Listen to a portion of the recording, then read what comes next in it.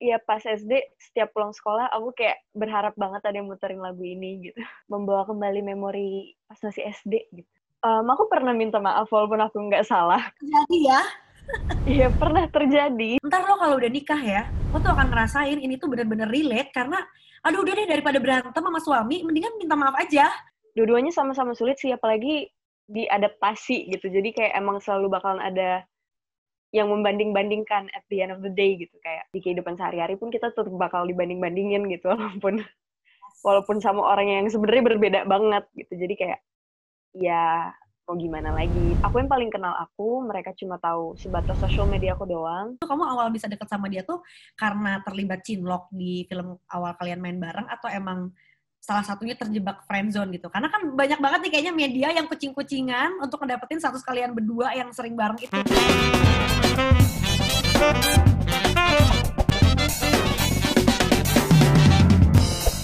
Halo, selamat datang di Teritori Teman Cerita Inventory. Ketemu lagi nih bareng sama Indi Arisa dan kali ini Indi akan ngobrol barengan seorang penyanyi aktris, model juga yang pastinya cantik banget. Dia adalah seorang perempuan blasteran Belanda. Tapi sebelumnya Indi mengucapin dulu dong terima kasih banyak untuk L Hotel Royal Bandung yang ada di Jalan Merdeka nomor 2. Karena hari ini Indi staycation di sini seperti biasa. So buat kamu juga yang pengen nginep di L Hotel Royal Bandung silahkan kepoin langsung Instagramnya di sini. Yuk kalau gitu langsung aja kita ketemuan dan juga ngobrol-ngobrol barengan sama Mawar Deyong. Halo Mawar, selamat siang. Hai, selamat siang. Apa kabar? Kabar baik. Wih, ini seneng banget nih ini dapat kabar kalau katanya Mawar akan segera bikin virtual konser Ruang Rindu Mawar De Jong. Bener ya?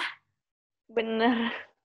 Wih, selamat dulu dong. Akhirnya nih satu lagi kejutan dari uh, talent-talent industri entertainment di Indonesia mau menunjukkan ajang kreativitasnya dari sekarang Mawar De Jong juga ikutan untuk bikin konser virtual ini. Nah, jadi katanya kalau yang didengar ya Mawar uh, konser ini kamu bikin untuk ngobatin kerinduan banyak orang yang memang udah terjebak di ruang rindu nih. Sekaligus katanya punya tujuan manis untuk ngebantu mereka yang ada di balik layar untuk akhirnya bisa kembali nih bangkit mencari nafkah di tengah kondisi yang kayak gini gitu kan. Nah, terus nih Mawar, uh, Project Ruang Rindu ini kan project LDR-nya Trinity ya, alias lagu dari rumah gitu. Nah, waktu itu kita udah denger ngobrol sama Kang Arman juga tuh sempet.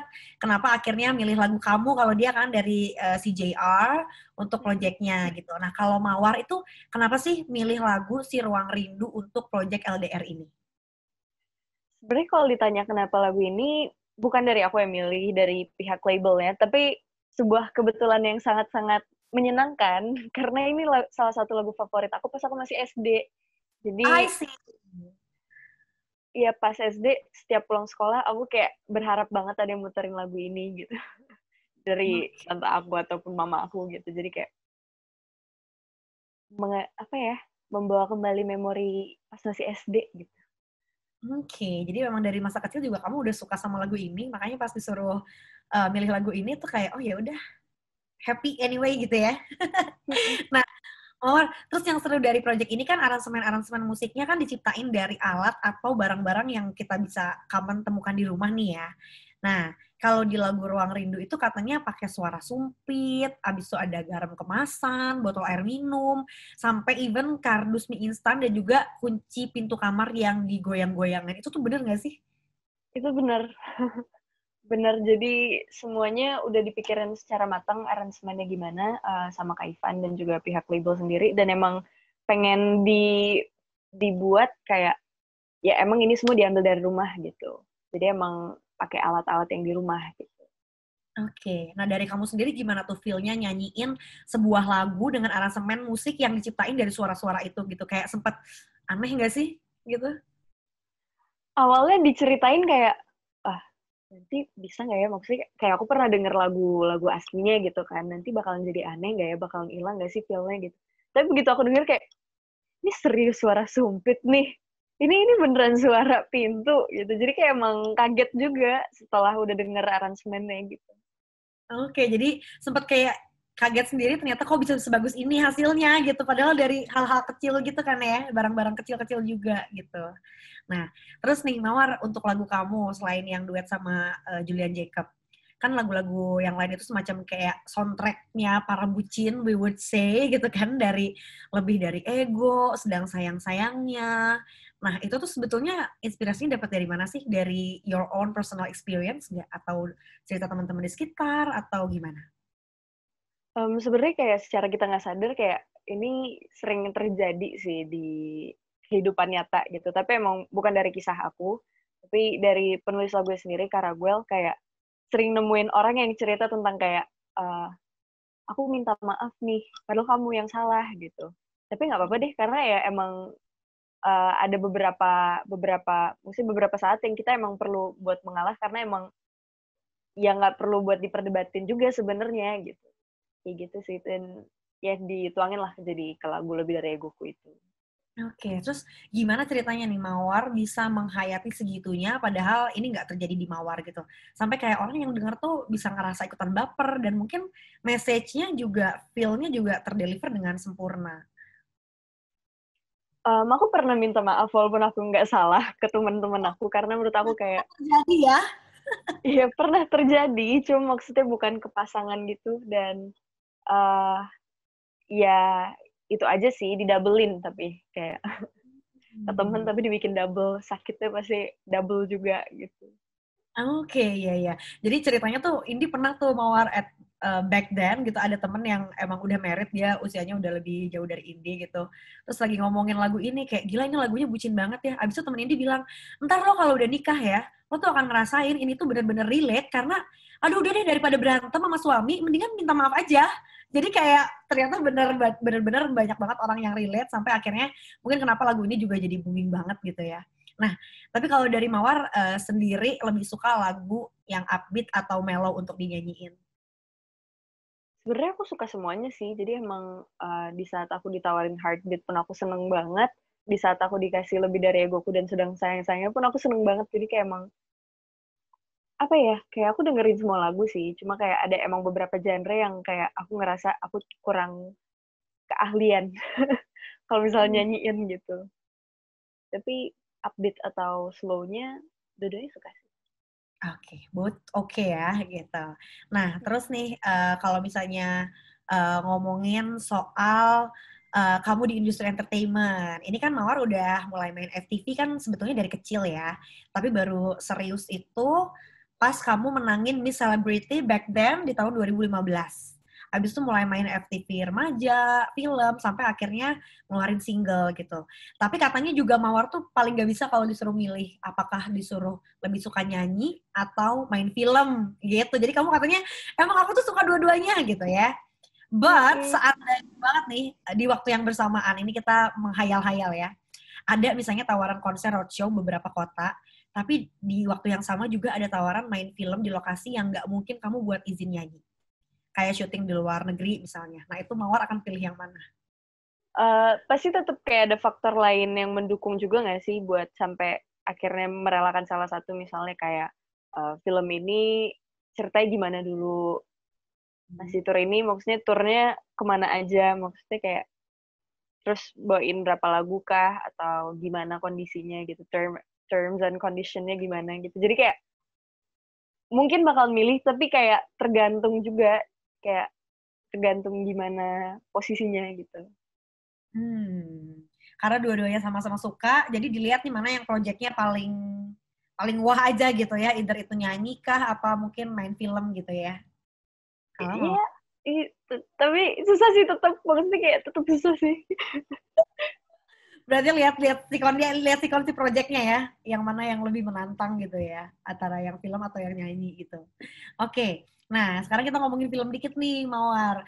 Waktu diajak buat main film uh, Miracle in Cell Number Seven yang versi Indonesia, itu katanya kamu sempat kaget ya, karena kamu udah uh, nonton versi aslinya waktu SD yang dari Korea. Bener. Berarti emang yang emang suka banget sama film itu gitu ya? Suka banget kak, suka banget banget. Oke. Okay.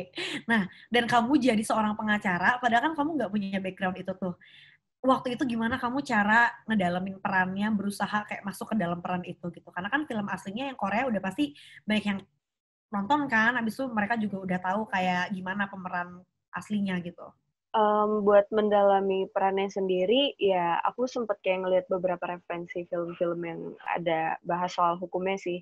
Tapi balik lagi kayak emang di film Miracle ini, kita sendiri nggak kayak yang Om Hanung sempat sampaikan juga kayak kita nggak ngikutin hukum Indonesia dan hukum yang dipakai di film ini pun hukum miracle incel gitu. Jadi bukan kita nggak ngikutin hukum dari negara mana gitu kan.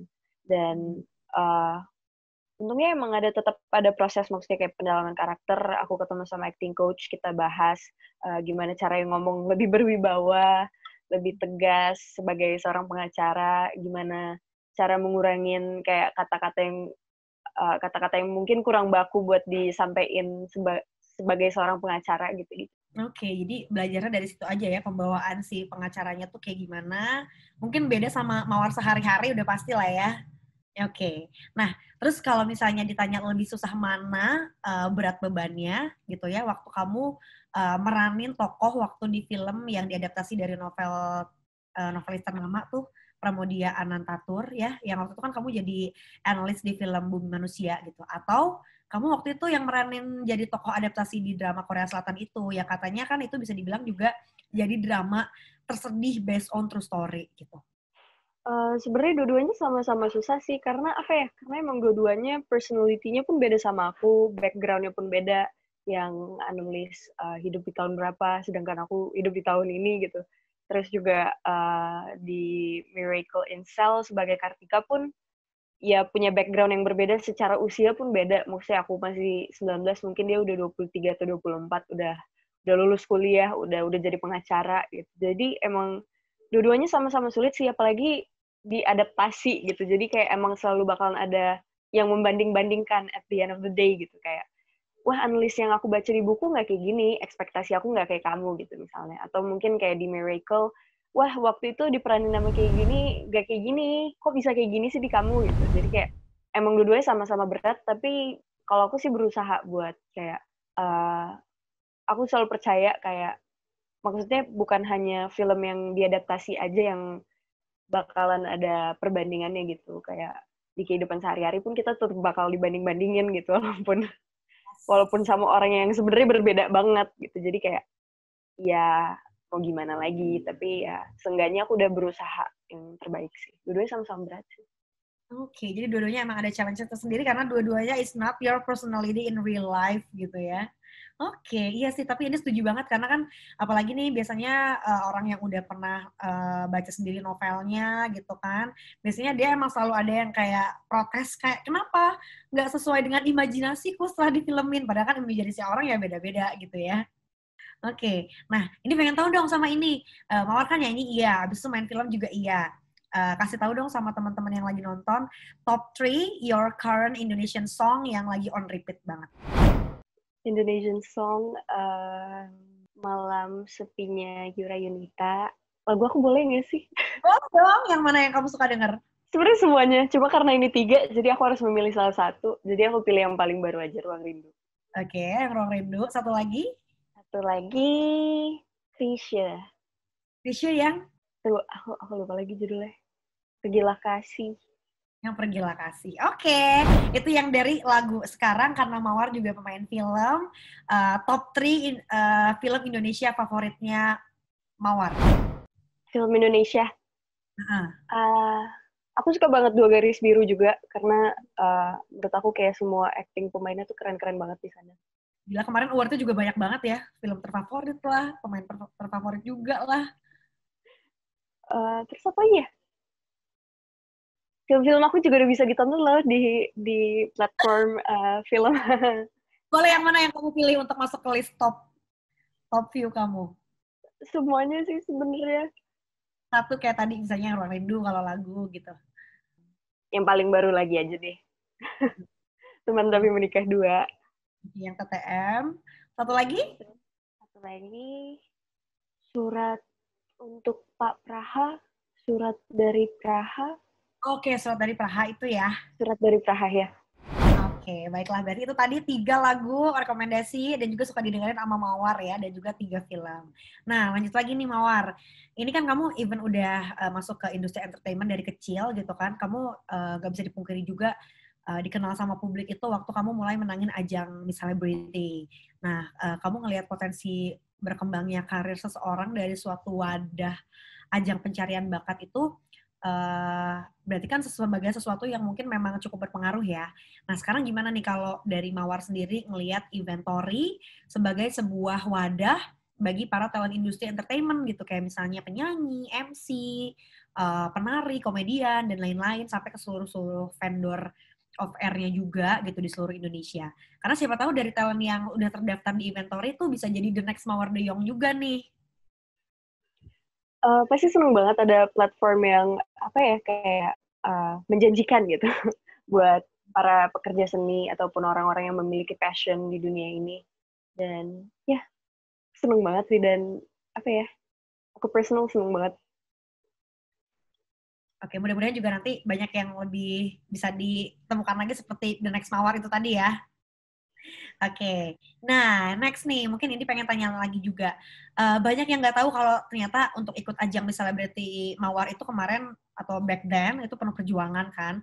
Karena katanya at that moment kamu waktu itu lagi kena musibah tuh, rumahnya kena banjir. Tapi akhirnya kamu tetap kayak pokoknya aku tetap akan ikutan gitu sampai akhirnya beneran gak bohong hasilnya nggak bikin kamu jadi pemenang gitu. Nah tapi katanya waktu menang di Celebrity kamu banyak juga dapat hate comment yang anggap kamu tuh masih terlalu muda usianya untuk memenangkan ajang itu. Nah at that time ini kita kan lagi banyak juga mungkin orang di luar sana yang lagi pada mengencourage kayak uh, mental health dan juga uh, apa ya supaya orang tuh pada berani gitu untuk speak up dan juga uh, bisa menjalani apa ya hari-harinya dan menghadapi itu gitu. Kalau Mawar waktu itu tuh gimana nih untuk uh, nanggepin hate-hate comment yang masuk ke sosmed Mawar padahal apalagi waktu itu Mawar baru 14 tahun. Uh, apa ya? Kalau dari aku pada masa itu sih jujur kayak aku belum begitu tahu kayak cara buat buat ngatasin hate comments itu sendiri dan ya aku memilih buat nggak baca sih pada waktu itu. Tapi makin ke sini aku makin nyadar kayak semua orang nggak hidupnya tuh nggak nggak luput dari komentar orang lain gitu. Jadi kayak apa pun yang kita lakuin pasti tetap aja ada orang yang nggak suka sama kita. Jadi kayak emang aku sih kembali lagi ke aku yang paling kenal aku mereka cuma tahu sebatas sosial media aku doang. Dan ya mungkin kalaupun aku di posisi mereka aku pun bakalan ngelakuin hal yang sama mungkin. Kayak ngelihatnya dari dari cara pandang yang sama. Gitu. jadi kayak balik lagi ke gimana ya kayak sebenarnya mereka tuh nggak kenal sama aku gitu jadi kayak mungkin kita harus lebih prioritasin orang-orang yang kita kenal dan pendapat mereka tentang kita daripada orang-orang yang nggak kenal sama kita gitu. Oke, jadi tipsnya adalah emang cuekin aja, mereka tuh nggak tahu kamu siapa dan nggak usah terpengaruh gitu. Berarti kalau Mawar emang eh, nggak uh, pernah dibaca nggak komennya atau emang dibaca tapi nggak dibalas gitu? Pernah dibaca tapi mutusin buat nggak bales sih Oke, okay. yang penting kayak oh ya udah nggak usah dibawa, nggak usah diambil pusing juga, baca ya udah diemin aja gitu ya. Tapi kadang-kadang kayak ada benernya sih kayak misalnya mereka komentar tentang misalnya kayak uh, misalnya baju kita kelihatan warnanya gini, warnanya gitu. Kadang-kadang mereka lebih jujur, tapi kadang-kadang mereka yang kayak nggak tahu mereka nyari kesalahan aja. Jadi sometimes bahan buat kita jadi introp introspeksi diri juga tapi kadang-kadang kayak emang ya mereka ngomong gak ada dasarnya gitu kayak karena mereka nggak kenal itu tadi oke okay. jadi ya udah mereka ngomongnya nggak berdasarkan apa-apa itu notes banget ya oke okay. terus kalau misalnya if it's compared to you today gitu ya kan saat ini uh, Mawar secara nggak langsung udah ngebuktiin sama orang-orang kalau emang dengan prestasi kamu di bidang nyanyi, di bidang acting juga gitu. Sampai sekarang itu masih ada nggak sih yang emang suka throw head comments kayak gitu?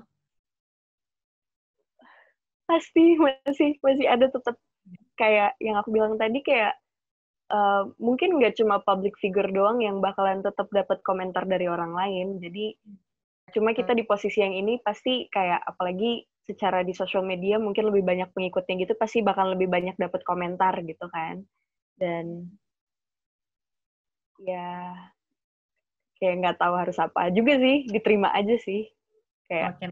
adanya hate comments tapi nggak usah didengerin juga. Oke, okay. terus kalau dari Mawar sendiri ngelihat sosial media tuh kayak gimana? Karena kan Mawar juga ini kayaknya cukup aktif ya bikin konten-konten di YouTube gitu. Kamu ngelihat platform sosial media tuh apa sih buat kamu? Kalau buat aku sendiri, ya social media adalah sebuah platform yang membantu kita juga sih sebagai pekerja seni, kayak buat uh, ngasih tahu orang-orang tentang project kita, terus juga uh, ngasih tahu tentang keseharian kita, ngasih tahu tentang banyak hal, terus itu juga tahu banyak hal juga dari social media. Dan ya itu kenapa kita harus pakai social media dengan sebaik mungkin sih. Mm-hmm. Oke, jadi do it wisely yang emang niatnya kalau buat bikin karya ya udah bikin karya aja dan keep uploading segala macam terus berkarya gitu ya. Oke. Okay. Nah, Mawar nih ada yang menarik juga nih. Aduh, aku nanyanya juga bingung. Kemarin sempat lihat gitu di akun-akun infotainment. Jadi katanya lagi rame dibilangin katanya statusnya kamu barengan sama Brian Domani ini terungkap katanya gara-gara ada foto dan video kamu makan malam keluarganya dia gitu. Nah itu kamu awal bisa deket sama dia tuh karena terlibat cinlok di film awal kalian main bareng atau emang salah satunya terjebak friendzone gitu. Karena kan banyak banget nih kayaknya media yang kucing-kucingan untuk ngedapetin status kalian berdua yang sering bareng itu katanya. Iya, gimana kita kenal dari film? Kita sempat film juga di film scene dan emang kenal deket juga. Maksudnya tetap berhubungan tetap kontekan juga kayak ya gitu sih. Hmm, ya berarti emang ya karena temen dan emang deket juga, maksudnya as a friend juga ya wajar kalau emang sering beraktivitas bareng gitu ya. Oke, okay.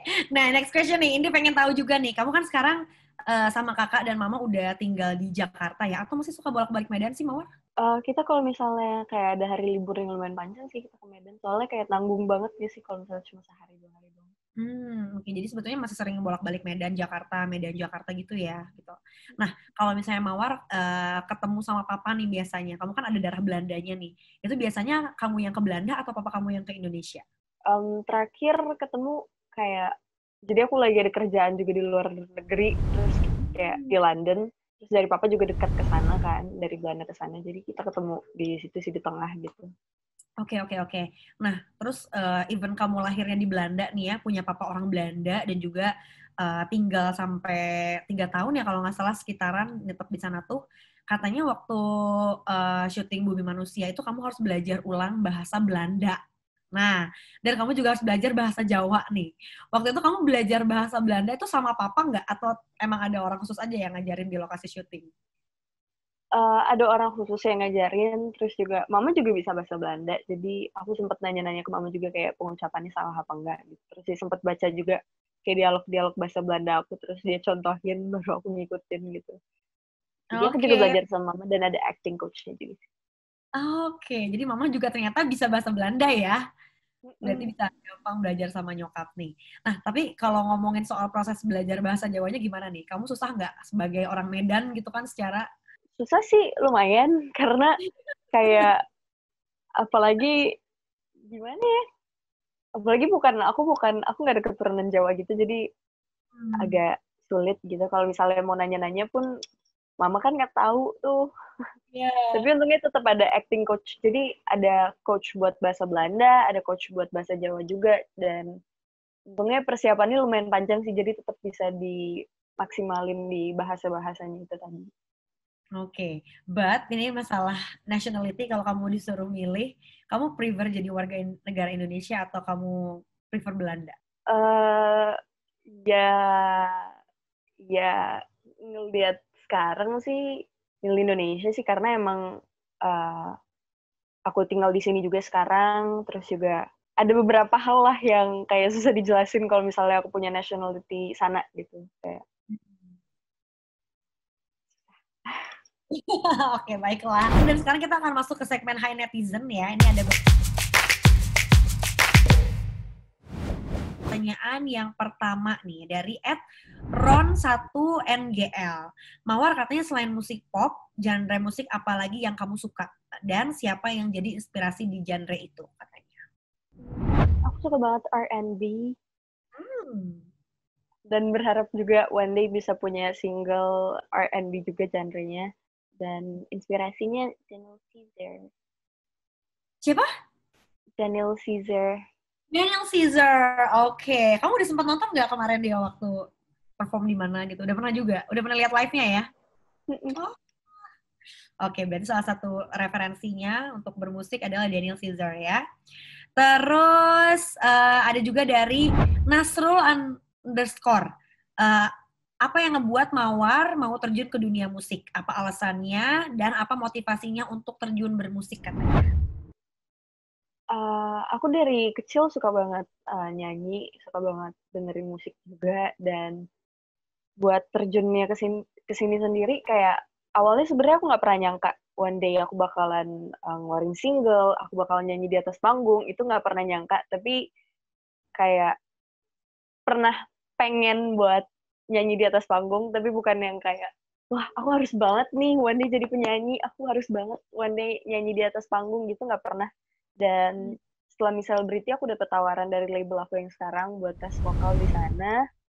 Terus akhirnya ditawarin lagu pertama aku Heartbeat didengerin kayak kamu suka nggak sama lagunya? Suka banget. Segala lama setelah itu recording jadi emang apa ya nggak pernah diduga sebelumnya tapi berakhir sangat menyenangkan gitu. Wah seru banget. Jadi ya kayak surprise aja ya surprise kehidupan yang tiba-tiba kok jadi ke sini arahnya dan ternyata sangat-sangat menikmati prosesnya banget berarti uh, mawar ini ya. Oke, itu untuk Nasrul. Mudah-mudahan udah menjawab ya. Next question, ini ada dari Ed Anandani 1403. Lagu Lebih Dari Egoku punya arti khusus nggak buat Mawar? Pernah ada sosok itu dalam perjalanan hidupkah? Tadi mungkin udah sempat dibahas dikit ya. Tapi gimana nih? Iya. Katanya ada nggak sosok dalam perjalanan hidup yang sesuai dengan lagu Lebih Dari Egoku itu? Uh, temen aku ya kadang-kadang kalau berantem sama kakak aku jadi emang apa pasti sering ditemuin sih cuma kayak nggak nggak selalu pasangan dan tapi kalau misalnya kayak yang lain-lain nggak pernah sih Oke, baiklah. Berarti uh, eh Kak Mawar tuh berapa bersaudara deh? Punya kakak ya? Iya, kakak. Aku punya kakak satu. Aku anak paling kecil. Kita berdua bersaudara. Bersaudara doang ya? Oke, oke. Lalu ada lagi dari Cikal Prayoga. Halo Mawar, mau nanya, kenapa milih lagu Ruang Rindu untuk di-recycle dan siapa inspirasinya di dunia musik? Tadi udah dijawab mungkin ya, karena emang suka juga sama lagunya ya. Dari zaman SD ya. Dan juga tadi untuk inspirasi di dunia musik mungkin suka banget sama Daniel Caesar ya? Atau ada yang lain lagi? Ada banyak sih sebenarnya.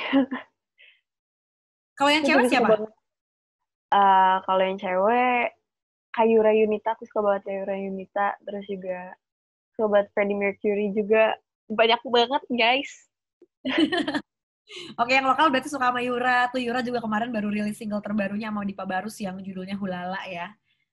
Lalu ada lagi dari at RTN Delila 04. Nih, hai Mawar, aku mau nanya nih, kenapa Mawar jarang posting-posting foto atau kegiatan pribadi dan di Instagram Kak Mawar pun lebih banyak tentang proyek Kak Mawar. Kepo nih, katanya gitu. Apa ya sebenarnya aku jarang foto sih anaknya, jadi kayak emang kalau keluar kalau misalnya kayak sama temen gitu kayak jarang foto juga sih. Tapi aku aku berharap aku berharap ke depannya aku semakin sering memposting kegiatan sehari-hari aku juga. Jadi mohon ditunggu ya. Oke, okay. nanti tungguin aja ya. Jadi pastikan kamu udah follow juga Instagramnya Mawar, biar nanti kamu tunggu aja konten-konten dailynya Mawar. Lalu ada lagi dari @alvito underscore alodia. Halo Mawar, gimana jaga mood saat mau perform nyanyi supaya tetap bagus? Uh, cara jaga moodnya, sebenarnya biasanya aku makan es krim kalau misalnya kayak lagi uh, film gitu, tapi kalau misalnya really? nyanyi makan es krim nggak bisa kan di antara ini dingin kita boleh kan? Jadi lebih ke apa ya kalau misalnya tiba-tiba mendadak moodnya jelek ya untungnya lagu-lagu aku ada yang sedih-sedih juga ya jadi dilampiasin aja di lagunya. Hmm, Oke. Okay. Tapi ada kayak rutin yang kayak misalnya orang minum kencur gitu nggak ada? Kamu selalu bikinin aku air jahe lemon sebelum aku nyanyi. Oke, okay, air jahe lemon tuh ya. Jadi buat teman-teman singers juga boleh dicoba air jahe lemon sebelum nyanyi ya. Oke, okay, semoga menjawab ya. Alvito underscore Alodia. Nah, ada lagi terakhir nih dari Morista Sasi. Mawar punya hidden talent nggak? Jangan ada lagi nih selain nyanyi dan acting. Apa ya? Nggak ada sih. Kamu bisa apa gitu tiba-tiba? Nggak. Lucu juga hidden talent. Nggak ada sih Nggak ada ya. Oke, ya Mungkin udah ya. aku juga belum tahu karena masih tersembunyi kali ya. Ya, ya benar-benar. That's why it's called hidden talent ya. Karena masih tersembunyi juga gitu. Oke, selesai untuk um, apa nih high netizennya. Sekarang kita akan lanjut ke pilih mana. Nah, ini such a rapid question. Jadi I want ask the reason why. Mawar jawab aja uh, pilih yang mana A atau yang B. Gitu. Ready? Oke ya. Yang pertama, Iqbal Ramadan atau Adipati Dolken? Gak ada sih dua-duanya. Enggak, ini pilih aja kayak yang mana yang paling enak kerja sama bareng atau apa misalnya. Gak bisa dua-duanya sih. Karena emang dua-duanya seru. Hmm, berarti both are okay. Oke. Lalu Daniel Caesar atau Tulus? Oke, okay. uh, Daniel Caesar. Oke. Nasi atau tomat? Nasi. Oke. Lalu YouTube subscriber atau Instagram follower? I don't know. Kayak uh, aku nggak apa-apa kalau dikasih dua-duanya. Tapi kalau secara lebih aktif, Mawar lebih lebih sering aktif posting di mana sih? Bikin konten misalnya, lebih sering di Instagram atau di uh, YouTube? Dua-duanya masih aktif sih. Uh, mungkin lebih lebih sedikit lebih aktif di Instagram sih. Oke, jadi kalau disuruh pilih YouTube subscriber or Instagram follower, which one do you prefer? Sebenarnya kayak aku aku memilih konten yang baik aja. Oke, ya udah. Susah kali ya jawabnya ya, dua-duanya. Ya udah kalau gitu, uh, thank you Mawar. Dan itu tadi ngobrol-ngobrol indie barengan sama Mawar Deyong. Terima kasih ya buat teman cerita kali ini yang udah nonton sampai habis. Jangan lupa untuk like video ini dan juga subscribe ke YouTube channelnya Inventory. Dan terima kasih banyak buat L Hotel Royal Bandung untuk tempatnya yang keren banget. Jangan lupa datang dan mampir nginep staycation di sini juga kamu bisa datang langsung ke Jalan Merdeka nomor 2 Bandung ya. Kalau gitu Indi Arisanya pamit. Abis ini pengen lihat Indi ngobrol sama siapa lagi? Langsung aja komentar di bawah ya. So see you when I see you teman cerita. Bye.